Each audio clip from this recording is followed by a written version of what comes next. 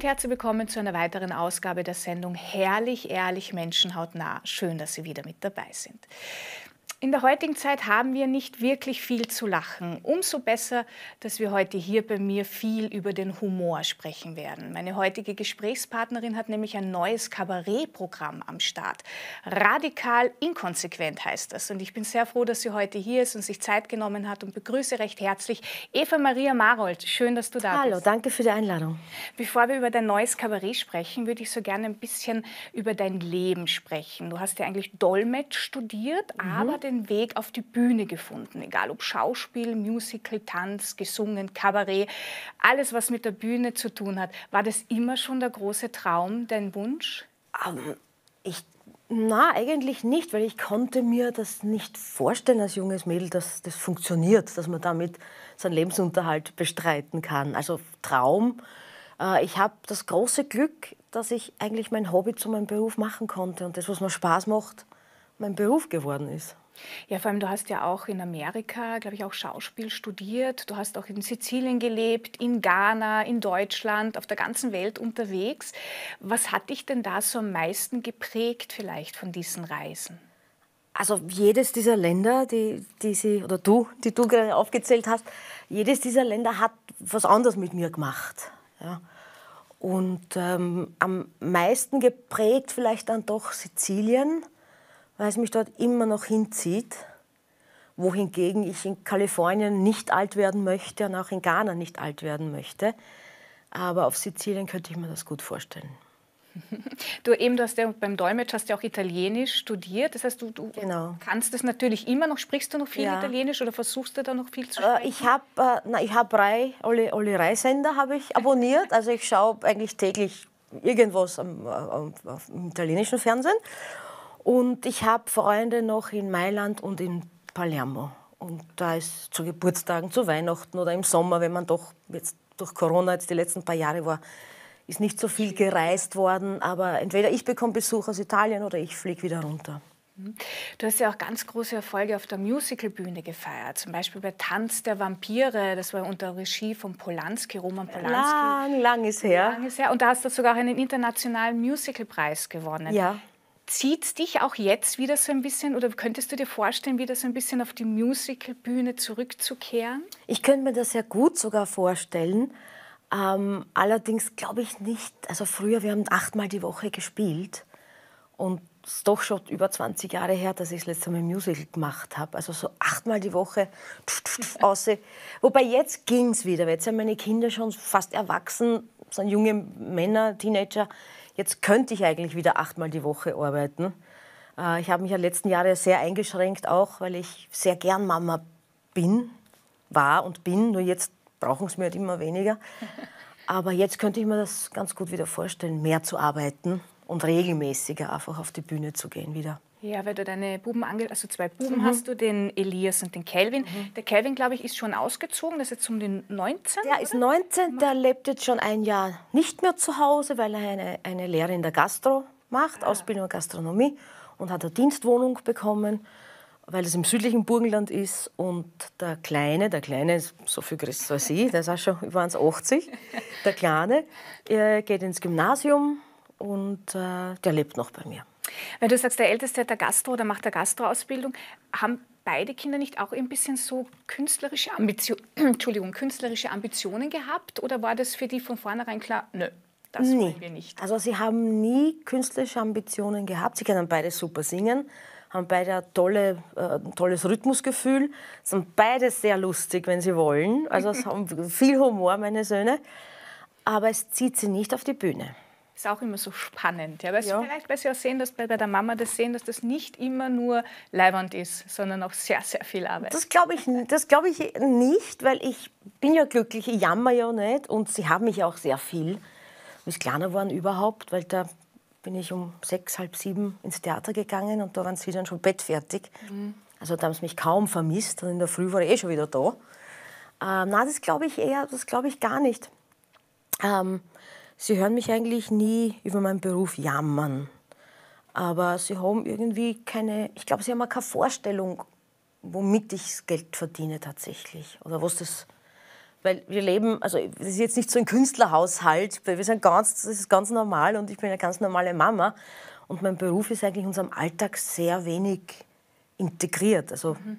dann bin ich Mama und dann bin ich Mama und dann hat das eigentlich nichts, da wird dann nichts über die Arbeit geredet.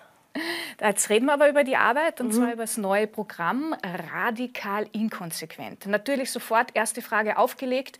Wo bist du selber radikal inkonsequent? die Frage kommt immer, ja. immer, immer. ähm, toller Titel. äh, inkonsequent, inkonsequent bin ich eigentlich bei allem, immer und überall, muss ich sagen. Und es hat für mich aber jetzt nicht unbedingt diesen negativen Beigeschmack, ist nicht negativ konnotiert, weil was das Gegenteil ist, diszipliniert oder, weiß nicht, dass man sich halt äh, im Griff hat. Aber ich finde dieses Inkonsequentsein auch mal ähm, insofern, dass man mal locker lässt, dass man mal sagt, okay, es muss jetzt, lass mal fünf Jahre gerade sein. Dieses Inkonsequent bei mir halt überhaupt mit, äh, ab morgen mache ich täglich Sport, mhm. ab morgen kein Zucker, kein Alkohol. Mhm. Also da bin ich herrlich inkonsequent. Und äh, ich erlaube mir auch inkonsequent zu sein, insofern, als ich auch meine Meinung ändern, also ich, ich möchte meine Meinung ändern dürfen. Und muss dann nicht auf Biegen und Brechen äh, an irgendwas festhalten, was ich vor einem Jahr gesagt habe, mhm. wenn heute eine ganz andere Situation ist. Ja? Also da, da wäre es mir sehr recht, wenn die Politik ein bisschen inkonsequenter wäre ab und zu. Ja, und vor, ja, apropos Politik, da hätten wir jetzt auch das Thema, weil du bist ja äh, Mutter, alleinerziehende Mutter zweier, zweier Söhne, warst halt immer für deine Söhne alleine verantwortlich und wir haben ja jetzt dieses berühmte Bürgergate vom Kanzler, mhm. das wirst du sicher mitbekommen haben, die Geschichte wegen Armut und wenn man halt kein Geld hat, dann soll man sich halt am Burger kann man sich immer leisten, um seine Kinder ja. zu ernähren. Was macht sowas mit einer Mutter? Meine ganz ehrliche Meinung, ich gebe auf sowas, ich höre nicht mehr, hin. Mich interessiert das null. Das hat die Politik geschafft. Weil sie können reden, was sie wollen. Also ich reg mich weder auf, noch freut mich was, weil sie, sie dann im eigenen, im eigenen Mist herumstochern und sind hauptsächlich mit sich selbst beschäftigt, unsere Politiker. Und das mich interessiert es nicht mehr. Der kann reden, was er will. das ist Eigenverantwortung. Also jede Mutter, jede Familie, kann, der Kanzler kann reden, was er will. Ich muss schauen, dass ich mit meiner Familie das gut hinkriege im Rahmen der bestehenden Gesetze und Regelungen. Und wenn mir das nicht passt, kann ich ja den anderen wählen. Leider Gottes gibt es in Österreich für Menschen wie mich keine einzige Partei, die meine Werte und meine Ansichten vertritt. Deshalb, ich weiß nicht, wen ich wähle. Also so viel zu Bye-bye-Demokratie stimme dir da vollkommen zu, wenn man merkt, irgendwann ja, also einmal. So viel zum Burgergate oder zur Ibiza-Affäre oder zu was, das ist, man, kann, man hat so viele Finger, hat man gar nicht. Und deshalb für mich, also das hat die Politik tatsächlich geschafft, dass man links und rechts vorbeigeht und jeder rettet sich, wer kann. Weil, und eben da, da würde ich mir mehr äh, Inkonsequenz wünschen, dass man sagt, okay, was, das geht nicht mehr, mehr. Du kannst keine Sozialpolitik betreiben in die 50er Jahre oder in die 70er Jahre. Das geht nicht mehr. mehr. Und diese, dieses konsequente Festhalten an ganz wirklich festen, statischen äh, Organisationen und Institutionen, das, äh, und ich denke, die Bevölkerung wäre schon bereit für einen radikaleren Wandel. Nur die Politik ist halt, äh, glaube ich, ein bisschen zu feige, weil sie machen ja alles Mögliche, um Wähler nicht zu verlieren. Jetzt wäre es halt toll, wenn sie mal was Tolles machen würden, um Wähler nicht zu verlieren. und vielleicht auch neue Wähler dazu dass man, zu dass man, also ich werde wählen gehen, aber ich wahrscheinlich ungültig, weil das ist noch mein, mein, meine letzte Chance, diese Demokratie zu vertreten. Aber es gibt keine Partei, die mich, die mich tatsächlich vertritt. Jetzt sehr politisch. Ja, sehr politisch, sehr politisch. Thema. Versuchen wir wieder ein bisschen zurück zum äh, Programm zu kommen, also radikal inkonsequent. Du wirst dort auch viel mehr singen als in deinen letzten Programmen. Ja, also ich will nicht zu viel verraten natürlich. Es wird mehr gesungen als in einem, sage ich mal, normalen Kabarett. Es wird dennoch äh, viel, viel Klamauk, viel, viel, also diese, aber ich, ich versuche ein bisschen von, dieser, von diesem Ulknudel-Image wegzukommen und mehr Facetten zu zeigen. Und ich bin draufgekommen in den letzten Programmen, dass, obwohl ich viele Jahre Musical gesungen habe, dass die Menschen mich jetzt als Sängerin überhaupt nicht am Schirm haben und sie alle wundern, dass ich singen kann. Und jetzt habe ich mehr Lieder eingebaut ins Programm und äh, bekannte Lieder, ist alles gecovert, aber ich habe zu den meisten einen deutschen Dialekttext mhm. selber dazu geschrieben. Was wird denn überhaupt die Zuschauerinnen und Zuschauer erwarten in deinem Programm? Also es wird ja auch ein bisschen persönlich werden. Äh, es ist immer, es ist immer persönlich, ja. weil ich kann nur aus dem schöpfen, was ich sehe, was aus, was aus mir kommt. Es geht eben um, um einen Beruf, um die Wahrhaftigkeit, um die Ernsthaftigkeit beim Lustigsein. ja, so ist es. Und äh, dann auch eben um Beziehungen, um ähm, Frauen in, meinen, in, meinem Alter, die allein sind, die Single sind, die ledig sind, ähm, alleinerziehend sind, ähm, dann mit Freundinnen reden und halt alle möglichen Tipps bekommen. Und das Ganze halt immer gespickt mit, mit Liedern. Wenn du sagst äh, äh, Single, das heißt, du bist derzeit Single? Ich bin nicht derzeit, ich bin schon sehr lange Single. Schon sehr lange Single, okay. Wie müsste denn der Mann sein, der dein Herz erobern kann? Ähm, gesund. Man wird ja schon ein bisschen bescheiden, oder? Man wird sehr bescheiden, ja. Gesund, hauptsächlich gesund. Ähm, psychisch und physisch, vor allem psychisch. Ja. Ähm, wie müsste er sein? Ich habe jetzt gar nicht so große, er darf nicht langweilig sein. Das habe ich gemerkt, dass oft Männer, wenn sie ganz, ganz schöne, ganz hübsche, attraktive Männer sind, die verlieren dann sehr, sehr schnell sehr viel, wenn es fade Bimpf sind, wie wir im Burgenland sagen. Und ähm, charmant, Humor natürlich, äh, großzügig, kein Pfennigfuchser, nicht geizig, nicht einfach ein Leben, Leben und Leben lassen, jemand, der weiß, wie man gut lebt. Es ist ja oft so, dass gerade bei Beziehungen wird es immer so viel zitiert, die Kompromisse. Wenn man schon länger alleine ist, ist man da eigentlich noch bereit, so wirklich Kompromisse einzugehen? Oder besser gefragt, welche Kompromisse könntest du nicht mehr eingehen? Das habe ich mir noch nie überlegt. Das ist eine sehr gute Frage. Welche Kompromisse? Eben diese Inkonsequenz zieht sich ja auch dadurch, wenn, wenn ich sage, ich würde nie mit einem Mann zusammenziehen mehr. Ich würde nie einen gemeinsamen Haushalt führen wollen. So wie jetzt. Wer weiß, wie es in zehn Jahren ausschaut. Oder mhm. Also da, da, da hüte ich mich ein bisschen, so, so, so Statements von mir zu geben, weil you never know, was, was, was weiß ich, ja, was mich dann reitet, dass ich dann plötzlich alle, alle Kompromisse äh, oder alle, alle Vorsätze über Bord werfe. Welche Kompromisse? Ähm, eigentlich gar nicht. Wie gesagt, ich habe mir über das nie Gedanken gemacht. Ich, ich merke halt, dass, ähm, dass ich durch meine Kinder schon eben eher fünf Grad sein lasse oder wenn, wenn sie mir den Geschirrspüler einräumen, bin ich einfach dankbar, dass der Geschirrspüler eingeräumt ist und gehe nicht die Töller nachschlichten, damit mehr reinpasst oder so. Ähm, also das habe ich schon gelernt. Es muss nicht alles nach meinem Schädel mehr gehen, weil meine Kinder sind eigenständige Persönlichkeiten und wenn die eine Idee haben und das durchziehen, bin ich sehr froh, dass sie eine Idee hatten und die auch durchgezogen haben. Und da versuche ich so wenig wie möglich einzupfuschen. Ja. Und das fängt halt an bei so banalen Sachen wie Geschirrspüler einräumen oder die Waschmaschine einräumen. Absolut, das stimmt. Da darf man dann nicht irgendwie zu streng dann ja, Da bin ich froh, wenn sie ja. das machen. Genau, Gott Hallo? sei Dank ist es überhaupt passiert. Ja. Könntest du dir überhaupt ein Leben ohne die Bühne vorstellen? Also wenn aus irgendwelchen Gründen das jetzt nicht mehr möglich wäre? Ja, natürlich. Hättest natürlich. du irgendwie einen Plan B? Na, mein Plan B wäre, äh, ich bin jetzt eh schon alt genug, ja, mein Plan B wäre, ich würde nach Sizilien ziehen und dort wahrscheinlich auf Kinder aufpassen, so, so eine Leihoma werden. ja, war sehr schön. Du hast glaube ich, in irgendeinem Interview auch gesagt, du könntest dir auch wieder vorstellen, zurück ins Burgenland zu gehen, weil Wien ein bisschen zu hektisch und zu laut. Ja.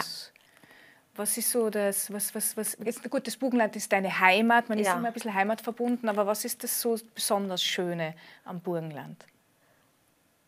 Naja, eh, diese, die, das, das, das Ländliche, das, das es ist alles kleiner, es ist alles ruhiger, es ist alles familiärer. Ich meine, ich habe mir das auch in Wien hier geschaffen, in meinem Kretzel habe ich auch so meine Anlaufpunkte, wo man die Menschen kennt, wo man sagt, Herr, jetzt habe ich die drei Wochen nicht gesehen, wo warst du? Na, ich war krank. Also das habe ich schon in Wien mir auch geschaffen, dieses, dieses familiäre. Das geht schon auch in der Großstadt. Aber mir ist Wien, also mit den, ich fahre viel mit den Öffis und mir ist da einfach immer zu viel los, zu hektisch. Mhm. Und das ist, hat nichts mit Corona zu tun, mit Menschenaufläufen oder so, sondern ich glaube, das ist auch generell das Alter oder wenn ich halt dann ganz alte Menschen in Wien sehe, die bei Grün über, die, über, die, äh, über den Zebrastreifen gehen und mitten im Zebrastreifen wird es halt schon wieder rot, weil sie so langsam gehen, dann tun mir all die Menschen in Wien eigentlich wahnsinnig leid, weil das muss furchtbar stressig sein mhm. für, für alte Leute in Wien und, und, ich, und für mich sind es schon stressig. Ja. Also, oder wenn du das Fenster kippst, ja, und am Fensterbredel kannst am Abend dann schreiben. Der ganze Feinstaub, der Staub, der von außen. Und das sind alles so Sachen, ich meine, die, die, die Luft das von, von Wien ins, nach, nach Eisenstadt zum Beispiel, man riecht, die, die Luft ist schon anders. Wo holst du dir denn dann eigentlich auch deinen Ausgleich, die Ruhe, die Kraft? Eigentlich, indem ich mich verstecke. Das ist wurscht wo. Also verstecke, dass ich halt bei mir zu Hause bin. So, so ein Mummel, so ein Lull und, und äh, einfach äh, zeitlang eben nicht zum Telefon gehen, nicht den Fernseher einschalten, gar nichts machen. Und äh, jetzt, wie es so heiß, ist, es immer noch sehr, sehr warm, aber wie es jetzt so, so lang so heiß war, bin ich meistens um, von neun am Abend bis elf am Abend spazieren gewesen in der Nacht. Und das ist, das ist sehr erbaulich. Das, das gefällt, das tut mir gut. Wenn du dir auch so wie jetzt für dein neues Programm äh, auch viele persönliche Sachen hast, äh, reinarbeitest, kann man davon ausgehen, dass die Inspiration eben aus deinem täglichen Leben kommt. Äh, überlegt man dann, wie weit man sich da öffnet für die Kunst, für seine Arbeit oder sagt man, na, man geht da all in? Also es ist, da geht es jetzt ums Produkt und nicht um die eigene äh, Persönlichkeit beziehungsweise um das, um das Private, wenn du sagst, wenn du gibst, gibst dir relativ viel dann von dir preis. Ja, aber das, was ich preisgebe, ist ja von mir abgesegnet. Mhm. Ja, weil privat ist privat. Ja. Und auch in einem Interview, also ich würde nie was sagen, was ich nicht sagen will. das kann man nicht auspeitschen aus mir. Also man kann schon davon ausgehen, dass das alles ehrlich ist und, und reinen Herzens geschieht, aber dass halt das, was mein Leben und mein Privatleben betrifft, äh, das, das bringe ich sicher nicht auf die Bühne oder in die Zeitung oder in die Medien. Weil das, was, was ist dann noch privat? Was bleibt denn dann privat? Also das... ist es auch so, deswegen, du bist ja auch, glaube ich, nicht wirklich auf Social Media unterwegs, oder? Also überhaupt hier Also ich habe, wenn das jemand sieht, ich habe eine Facebook-Seite, die meine Agentur betreibt. Ja. Und da weiß ich schon auch immer, welche Fotos darauf kommen und so, aber ich schaue, ich habe kein Smartphone und ich schaue auch nicht auf Facebook. Also ich, überhaupt nicht Social Media existiert für mich nicht. Und ich habe halt gerade mein Handy, was so ein altes Klapphandy. Und das ist, reicht mir völlig. Also so diese ganz moderne Technik und so, das ist nicht so dein Ding. Nein, die Welt wäre eine bessere ohne Amazon und Twitter und Meta. Und was sagst du dann zum Beispiel, wenn jetzt alle gerade überall in aller Munde ist dieses KI, eben diese künstliche Intelligenz, das für einen Texte schreibt, das Bilder generiert. In, in mhm. Hollywood wird ja auch großes, große Sorge, dass dann Leute genau das, und dass ja, dann ja. Äh, auch Leute ja. quasi Gesichter nachgemacht werden oder was soll ich dazu sagen? Das ist Eigenverantwortung. Wenn alle mitmachen wie die Lemminge, ja, dann sollen sie halt ertrinken. Also wie gesagt, ich, ich, und ich kann mich nicht wehren. Also wie, wie soll ich mich wehren gegen vieles kannst du ja nur mehr, also Banking oder Online-Banking. Ich gehe halt dreimal im Monat auf die Bank mit meinen paar Logscheine und stecke die in den Automaten rein. Ähm, also man kann auch selbst in Eigenverantwortung sagen, wenn ich davon nichts halte, muss ja nicht mitmachen dabei. Wenn das genug Menschen tun, aber es gibt, glaube ich, viel weniger. Ich bin die absolute Minderheit, was das betrifft. Alle finden das so super. Jetzt gibt es aber schon lang genug äh, und ich sehe nicht unbedingt eine Verbesserung, ja? weder im Bildungswesen noch im sozialen Umgang miteinander. Also dann kann man es ja wieder bleiben lassen. Ne? Aber Menschen tun es nicht. Und dann, dann wird gejammert. Ich meine, ich lache mich innerlich, lache mir manchmal wirklich krumm, wenn es dann jetzt da, äh, es gibt wieder eigene, EU will jetzt wieder eigene äh, Kommission oder Ministerium oder was weiß ich gründen, die die äh, KI-Intelligenz beaufsichtigen, dass da ja nichts äh, also die Geister, die ich rief, werde ich nicht mehr los, weil das ist ja so dieser Schneeballeffekt. Das wird dann immer und dann gibt es wieder die und dann war es nicht Fake News. Es wird eh schon genug Blödsinn geschrieben. Ja, also der Journalismus ist ja eher hinfällig geworden, wenn es heute jetzt Publizistik und wenn es Journalist werden willst, kann ja jeder kann ja was in die, in, ins, ins Internet stellen. Ja. Und das macht mich traurig, mir macht es traurig, ja, weil diese auch dieses Ansehen oder dieser Werteverlust, also ein Beruf noch, auch der Beruf des Sängers oder Schauspielers, diese tausend Castingshows. Und man, dann glaubt man halt, das, das ist es, ja, wenn man drei Minuten Ruhm hat. Aber das ist ein, das ist ein Beruf, es ist ein Handwerk. Und das finde ich halt sehr schade. Und das geht durch diese ganzen sozialen TikTok-Stars. Das sind Millionen schwere TikTok-Stars. Ja, ich habe auch nichts gelernt. ja, TikTok-Star. Also, genau, Stichwort Influencer. Ja, oder Influencer. Ja, genau. Diese, ja. Den schnellen Ruhm und das Glühwürmchen. Ich sage immer so, das Glühwürmchen, das verglüht ja. dann irgendwann so mal. Es ist genau, und das ist, was du auch angesprochen hast, eben äh, dein Beruf, der Beruf Künstler, Sängerin, Schauspielerin ist ein Hand, also nicht Handwerk, aber es ist ein Beruf. Das es ist ein Handwerk. Genau. Was würdest du jetzt jungen, ambitionierten Menschen äh, vielleicht als Tipp mitgeben, die sich noch drüber trauen und diesen Beruf gerne machen würden? Wenn ich zynisch sein darf, werdet TikTok-Stars. und das mit Qualität und vielleicht entdeckt euch dann wer, dass das äh, was Nachhaltiges wird. Aber einfach machen. Einfach machen. Was ist denn dann so dein Mantra und dein Lebensmotto, was dich begleitet? Also ich sage immer, für irgendwas wird schon gut sein. Also ich, ich nehme es so hin, ich habe ich hab schon Pläne, aber wenn die nicht in Erfüllung gehen oder wenn die irgendwie durch irgendwas gekreuzt werden, dann halte ich mal inne und dann denke ich mir, okay, warum ist das jetzt passiert? Kann ich mit dem was anfangen? Also für mich ist das nicht gleich a priori negativ, sondern ich versuche da was herauszulesen und vielleicht was vermeintlich Negatives in, in was aus der, aus der, Not der Tugend zu machen, ja? Und was vermeintlich Negatives ins Positive umzukehren. Und ähm, deshalb kann mich so schnell jetzt nichts erschüttern und auch wir rennen ja mit offenen Augen ins Messer. Also auch das mit dem Klimawandel und so, das, das ist alles absehbar und man wird sich dann nach der Decken strecken müssen. Das ist, wir brauchen uns gar nicht groß wundern und wow, wow, Katastrophe. Das ist Haus gemacht, das ist selbst gemacht und damit werden wir dann umgehen lernen. So, so, also ich sehe das so, so easy. Also easy, aber anders geht es ja eh nicht. Ne? Was ist Situation und wie, wie gehe ich um damit? Aber nicht lamentieren, dieses Wehleidige taugt man nicht so. Einfach machen. Das hat keiner gesagt, dass das Leben ein Spaziergang oder ein einziger Urlaub mit Cocktailglasel in der Hand ist. Schott eigentlich, oder? Nein, weiß nicht. Nein, mir taugt schon, wenn ich ins Schwitzen komme. Also brauchst du ein bisschen den Druck. Mhm. Radikal inkonsequent, ein neues Programm. Alle Termine, schätze ich, gibt es auf deiner Homepage? Alle Termine sind sehr viele, Gott sei Dank. Ich spiele Oktober, November ganz, ganz viel. In ganz Österreich bis Kufstein so weit westlich war ich, glaube ich, ab nun, äh, ja, Kufstein, nein, Bregenz habe ich auch schon gespielt. Aber so weit westlich war ich überhaupt noch nie.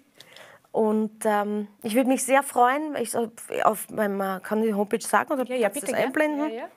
Eva Maria Marold in einer Wurst durchgeschrieben, .at. Perfekt. Liebe, liebe Eva Maria, vielen Dank, dass du dir heute Zeit genommen sehr hast. Sehr gerne.